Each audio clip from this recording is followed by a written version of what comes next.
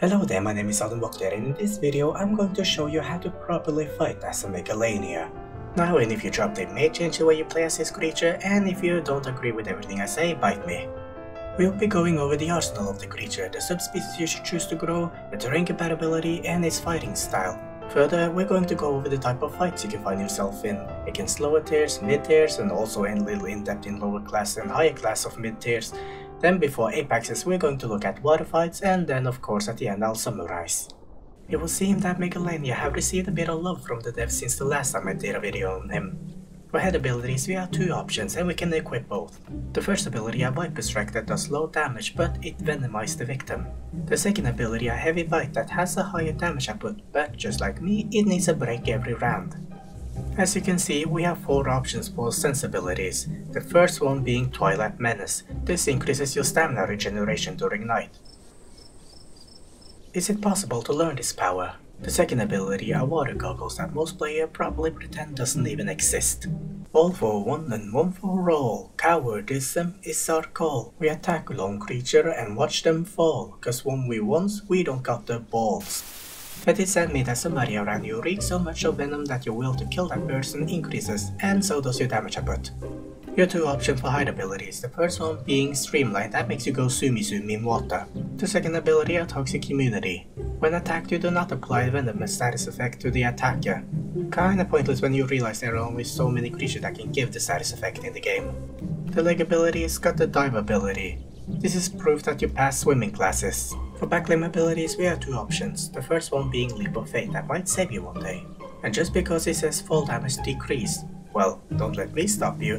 Go jump off a cliff if you wish to. Maybe you'll turn into that flying lizard. Or, well, gliding. The second ability are Webbed Feet that increases your speed and stamina in the uh, water. Sorry, bad habits. Are you a toxic player? Now you got the Scream ability to go along with it.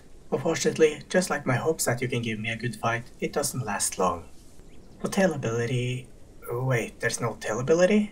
But, but, doesn't the real-life Komodo dragon use the tail as a baseball bat? What about swimming? Damn devs, missed opportunity.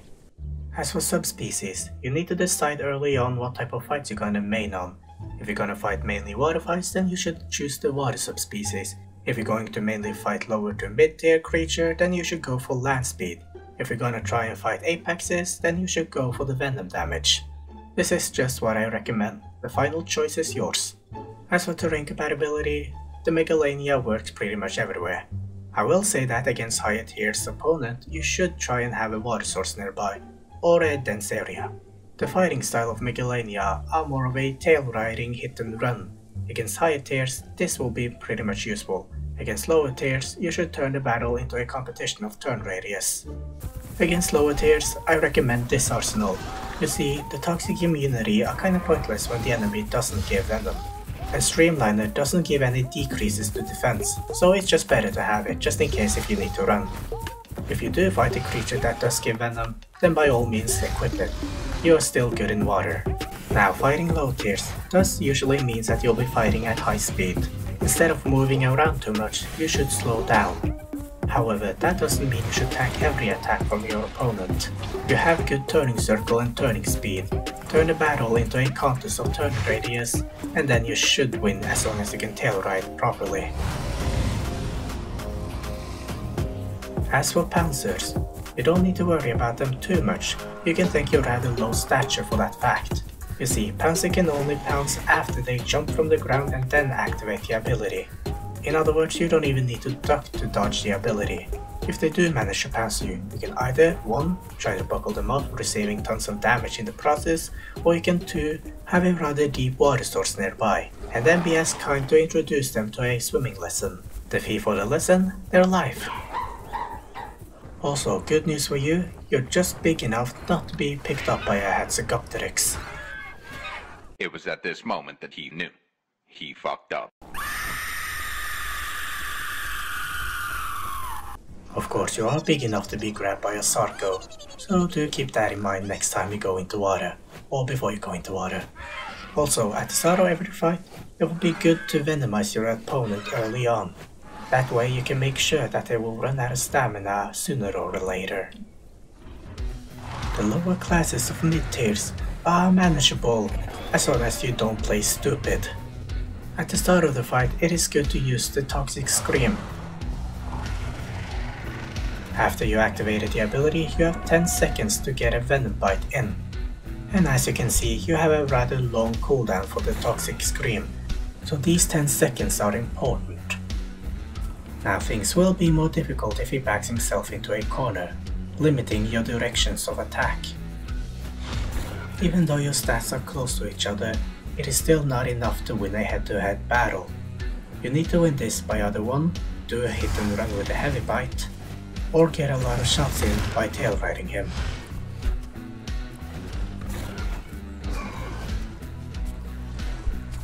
Because you're so low to the ground, tail attack doesn't mean much unless your opponent crouch, or at least in the case with taller opponent. Lower classes of mid-tiers are manageable, it is the higher classes of mid-tiers that is a problem.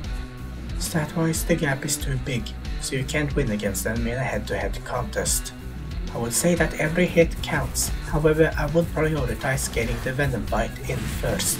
After all, without stamina, most opponents become sitting ducks. Combine tail riding with hits and run, and you'll eventually be able to lower him down so much and kill him. Of course, accomplishing this are no small feat, and not recommended for beginners. And speaking of not recommended for beginners, water fights. Water fights are something I definitely do not recommend for beginners. You see, there are so much more things you need to be aware of when doing water fights. If you don't understand, well then, let me put it like this. On land, you can only perform a set of locomotion, left, right, forward and backward. The same applies for your opponent, he can only move in a certain manner. In water, you have omnidirectional movement, and so does your opponent. If he can swim, that is. Again, there are so much more you need to be aware of. Your opponent, what abilities does he have? Am I in his line of fire? He's moving this direction, so I need to follow suit, etc. For water fights, I recommend this arsenal. Even though you have omnidirectional movement, you're still up to do a hit and run and or tail riding in water. In water fights, because of all the information you need to gather, process, and the actions you need to plan and execute. This type of fighting can be a bit too much for beginners, so it's easy to fall back into a head-to-head -head clashing in water, and this is something that you shouldn't do. Try to stay behind your opponent at all times. This will be more difficult to do if your opponent has a tail smack ability. This is why I recommend to not fight Spinos if he has a tail attack. Actually, just don't mess with Spinos in water at all. For Apexes, they are just too tanky, and they only need a few hits to kill you. And as a low tier against an Apex, their tail smack actually hurts.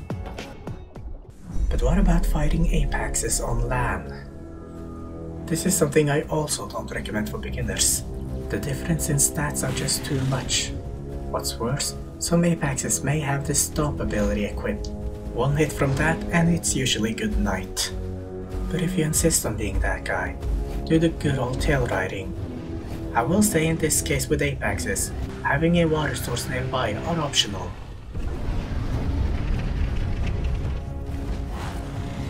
With or without, there's no doubt you're going to outspeed an Apex. Of course, if he does the same old back himself into a corner to limit your movement of attack, then it would be better to just call off the attack.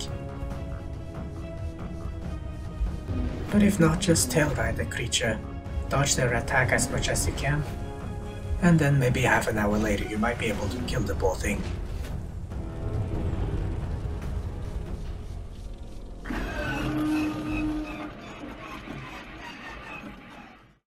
So to summarize, against lower tiers, stop moving around too much and turn the battle into a contest of turn radius.